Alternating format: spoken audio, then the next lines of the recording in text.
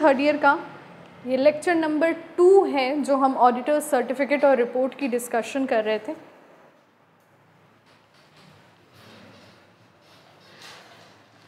देखो, अभी ऑडिट के रिपोर्ट के क्या क्या प्रकार होते हैं वो डिस्कस हुआ था? डिस्क्लेमर वगैरह डिस्कस हुआ था? याद है अच्छे से? डिस्क्लेमर क्या होता है? क्वालिफाइड नहीं हुआ था। ये भी नहीं हुआ था। कंटेंट्स तो मैंने करा दिए थे। इस पर नोट्स ही नहीं है। इसको इसको लग रहा है मुझे लेक्चर इसी लेक्चर में मैं इंक्लूड कर दूँगी। तुम लोग नोट्स में लिख लेना। देखो, सबसे पहले हम बात करते हैं बुक दो। ऑडिट रिपोर्ट कितने प्रकार की होती है और तुम्हारे सिलेबस में कौन कौन सा है? एक जो ग्राफ बनवा रखा था ना, वहाँ से देखना।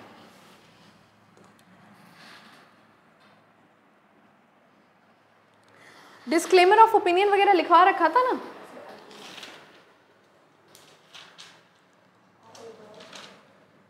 ओके गुड गुड ठीक है ठीक है. क्लोज द बुक तो सबसे पहले हम ज़रा टाइप्स की बात करते हैं कि ऑडिट रिपोर्ट के क्या क्या प्रकार होते हैं. देखो ऑडिट रिपोर्ट में जो सबसे पहला प्रकार होता है, वो होता है फाइनल रिपोर्ट सबसे नॉर्मल सबसे अच्छी खबर, ये जो साल ख़त्म होते ही एक ऑडिटर आता है ऑडिट करता है और एक फ़ाइनल रिपोर्ट बना देता है, उसे हम क्या कहते हैं? ऑडिट की फ़ाइनल रिपोर्ट ऑडिट की फ़ाइनल रिपोर्ट के बारे में ये समझना कि ये ऑडिटर द्वारा कंपनी की पूरी जाँच पड़ताल होती है और ये एक इंडिविजुअल ये एक फर्म कोई भी बनवा सकता है। उसके बाद हम बात करते हैं इंटरिम रिपोर्ट की। देखो, अंतरिम रिपोर्ट इसको पढ़ा रखा है मैंने। जहाँ तक याद आ रहा है अच्छा ठीक है रिविजन कर लेते हैं। अंतरिम रिपोर्ट के बारे में ये पढ़ाया था मैंने कि अगर कंपनी के पास ओवर एंड अबव प्रॉफिट्स हो गए और कंपनी चाहती है कि उन प्रॉफिट्स को हम अपने लोगों के साथ बांटें तो वो बोनस शेयर के नाम पे या एक्स्ट्रा डिविडेंड के नाम पे इंटरिम रिपोर्ट को तैयार कर सकती है। पार्शियल रिपोर्ट अगर कंपनी को कुछ चुनिंदा बुक्स ऑफ़ अकाउंट के बेसिस पे रिपोर्ट जारी करती है तो उसे हम क्या कहते हैं? पार्शियल रिपोर्ट अनमॉडिफाइड रिपोर्ट देखो अनमॉडिफाइड रिपोर्ट का क्या अर्थ होता है? जब एक ऑडिटर जो है कंपनी के सारे फाइनेंशियल स्टेटमेंट्स की अच्छी तरह से जाँच कर लेता है और वो उस जाँच से संतुष्ट हो जाता है कि कंपनी ने गैप आईएफआरएस अकाउंटिंग स्टैंडर्ड सारे ही क्राइटेरिया का अच्छे से ध्यान रखा है।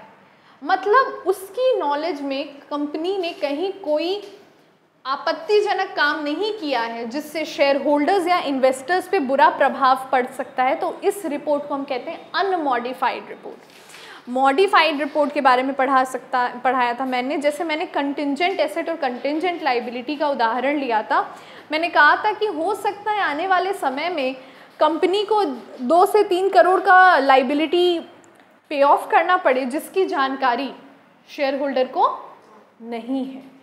तो ये फुटनोट में तो लिख दिया, कंपनी ने अपना काम पूरा किया, मगर ऑडिटर का भी दायित्व हो जाता है कि कंपनी का इस बात पे ध्यान अट्रैक्ट करे। क्वालिफाइड रिपोर्ट ये मॉडिफाइड रिपोर्ट में थोड़ी बहुत प्रॉब्लम्स थी, जो कि एक टेक्निकल मेजर के साथ सही की जा मतलब कंपनी गलत नहीं है, बस इंफॉर्मेशन को दिखाने का तरीका नहीं सही था। मगर क्वालिफाइड रिपोर्ट में तो कंपनी ने at a point of time एक समय पे ऑडिटर के साथ कॉपरेट ही नहीं किया। मतलब ऑडिटर माँगता रहेगा कि भैया हमें परचेज की ज़रा सब्सिडरी बुक दिखाइए। कंपनी दी ही नहीं। कहीं वो परचेज मैनेजर के पास है परचेज मैनेजर दुबई में है, दुबई में वो बुर्ज खरीफा से कूद गया है। अब बचा नहीं वो सर और परचेज वाली बुक लेकर कूदा है। वो दुबई पुलिस के पास बुक उसकी जमा है, अब क्या करी जाए? तो यहाँ पे मान लो, मैंने एक उदाहरण दिया तो अगर at a point of time auditor को लगा कि यार ये क्या, कोई सुसाइड करेगा तो तुम्हारा परचेज बुक लेके सुसाइड करेगा। वो बोले कि परचेज बुक लेकर नहीं कूदा, सर, उसके सारे पन्ने हवा में उड़ा के कूदा है वो। तो क्वालिफाइड रिपोर्ट में at a point of time जहाँ पे कंपनी ने कंपनी के मैनेजर्स ने कंपनी के पर्सोनल ने ऑडिटर के साथ कॉपरेट नहीं किया है, वहाँ पे कुछ चीज़ों को ऑडिटर नोटिफाई कर देता है, देखिए ये ये ये सिचुएशंस को अगर हम छोड़ दें तो फाइनेंशियल रिपोर्ट पीएल बिल्कुल सही है। मगर उन चीज़ों को छोड़ के, अब मान लो अगर ये चीज़ें बड़ी हुई तो निवेशक तो निवेश नहीं करेगा। और सबसे भयंकर होता है डिस्क्लेमर ऑफ़ ओपिनियन जिसको मैंने आपको समझाया था ऑडिटर आया ऑडिटिंग करने ऑडिटर को एक बोरी में आपने भरा, बांधा, कमरे में फेंक दिया। क्या बोलेगा ऑडिटर कहेगा, हमें इस ज़िम्मेदारी से मुक्त करो। और एक आध one percent, two percent company में ऐसे ऑडिटर होते हैं जो डिस्क्लेमर बनाते हैं, वो कंपनी वहीं तहस नहस हो जाती है। कि मतलब अगर ऑडिटर ने डिस्क्लेमर बना दिया साफ़ साफ़ मतलब है कि कंपनी एक फ्रॉड है, शैम है, वो फिर आगे काम नहीं कर सकती। अब आज का जो फ्रेश टॉपिक है, वो है importance of audit report audit certificate क्या होता है? और एक इंपॉर्टेंट चीज़ है the concept of true and fair देखो ट्रू एंड फेयर कानून की नज़र में एक कत्ल की। सज़ा होती है क्या? नहीं। चौदह साल की जेल। अगर आप अपना पक्ष ऐसे साबित कर सको तो आपको चौदह साल की जेल होती है। मगर वो पक्ष साबित करने में ही उम्र गुजर जाती है। एक प्रोविज़न है कानून का जो कहता है कि एक कत्ल पे अगर ये चीज़ आप प्रूफ कर देते हैं कि आपकी ही पूरी गलती सेल्फ डिफेंस की मैं यहाँ बात नहीं कर रही सेल्फ डिफेंस में तो कोई जेल नहीं अगर आप पे कोई हमला करने आ रहा था, आपने खुद की बचाव में किया, तब नहीं। मगर इन जनरल एक मर्डर पे चौदह साल की जेल है। अब किन्हीं किन्हीं लोगों के लिए बड़ी गलत बात है।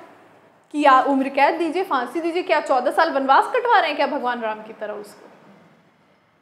तो अच्छा कुछ लोगों की दृष्टि से ये ठीक है कि भाई उस जी, पर्सन का चौदह साल जीवन के बर्बाद हो गया वो बदल ही गया होगा या वो जी ही नहीं पाएगा whatever true and fair एक परसेप्शन है।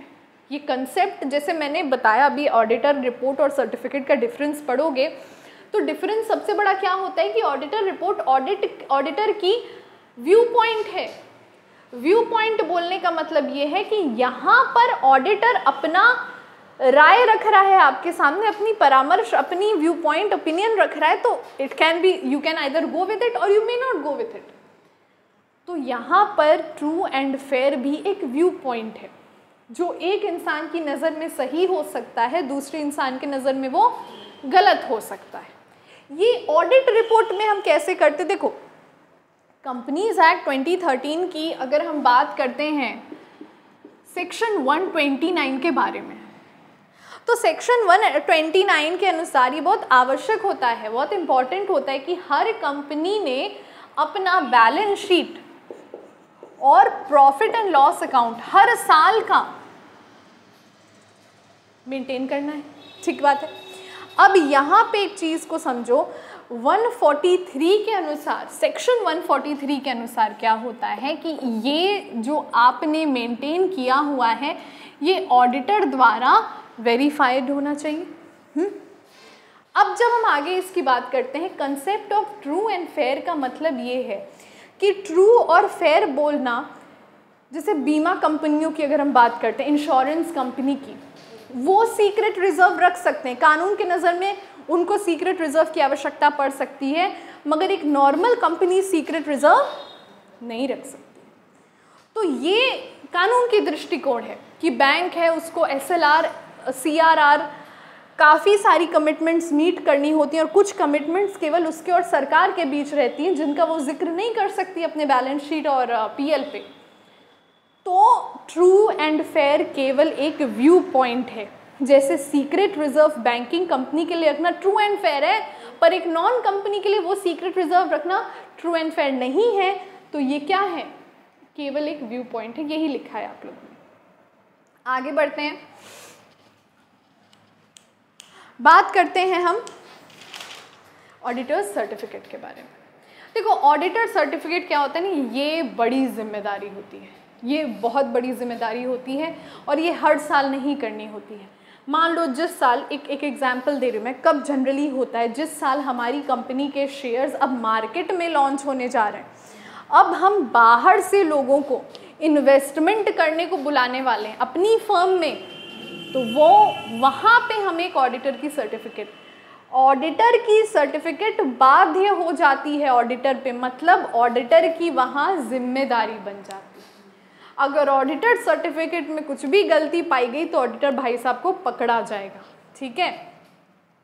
तो ऑडिटर सर्टिफिकेट में आपने चार चीज़ें हैं जिनके बेसिस पे बताना है। सबसे पहली बात है स्टैचूटरी रिपोर्ट देखो स्टैचूटरी स्टैचूटरी शब्द का मतलब होता है वैधानिक। जब भी आप टोबैको वगैरह का कोई ऐड देखते होंगे तो वहाँ लिखता है स्टैचूटरी वार्निंग वैधानिक चेतावनी। तंबाकू खाना स्किन के लिए काफ़ी अच्छा होता है। नहीं। स्टैचूटरी रिपोर्ट जैसे मैंने क्या बोला कि अब कंपनी ने इतना अचीवमेंट कर लिया है कि कंपनी को आईपीओ में आना है। अभी देखो, ऐसे केस में कंपनी को स्टैचूटरी रिपोर्ट बनाना पड़े। इस स्टैचूटरी रिपोर्ट बोलने का ये मतलब है कि कंपनी वैधानिक रूप से रिपोर्ट बना के देगी। वो इस प्रोविज़न से स्किप कर ही नहीं सकती। स्टैचूटरी रिपोर्ट हो गया। उसके बाद जो दूसरी बात मैंने बोली कि स्टूडेंट्स ध्यान रखिएगा प्रोस्पेक्टस देखो प्रोस्पेक्टस लिखवाते समय दो बातें मैंने नोट्स में उजागर की। पहला तो ये कि अगर कोई कंपनी दोबारा से अपने शेयर्स ला रही है, जो कि अभी किस चीज़ से हम रिलेट कर सकते हैं? इंटरिम डिविडेंड से। हमने इतना प्रॉफिट कमाया कि हम इंटरिम डिविडेंड से कर सकते हो उसको रिलेट उसके लिए क्या प्रोस्पेक्टस जारी होना चाहिए? डिपेंड करता है. कंपनी को लगता है कि प्रोस्पेक्टस नहीं तो एक ब्रॉशर ब्रॉशर एक छोटा सा प्रोस्पेक्टस का छोटा फॉर्म एडवर्टाइजिंग की तरह होता है.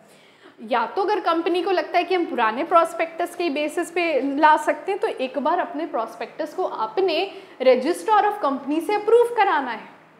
तभी लोग उसको सही मानेंगे. वरना छः महीने पहले तुमने आईपीओ किया था। अच्छे प्रॉफिट्स हो गए, तुम उसी प्रॉस्पेक्टस को नए वालों पे चला रही हो। एक बार इस पर ऑडिट सॉरी आरओसी की हामी होनी चाहिए। उसके बाद फॉर लिक्विडेशन मान लीजिए ये आपके कंपनी की अंतिम ऑडिट है। इस ऑडिट के बाद कंपनी बंद होने वाली है। तो वहाँ पे बंद होने वाली है कहीं अपना ऐसा तो नहीं है कि कर्जदारों का पैसा ही नहीं चुकाना है उसे। तो इन चीज़ों को देखते हुए, इन चीज़ों से बचने के लिए ऑडिटर को सर्टिफिकेट देने से पहले ये इंश्योर करना चाहिए। देखो, यहाँ पे ऑडिटर की सर्टिफिकेट की बड़ी आवश्यकता है। लिक्विडेशन में क्या है?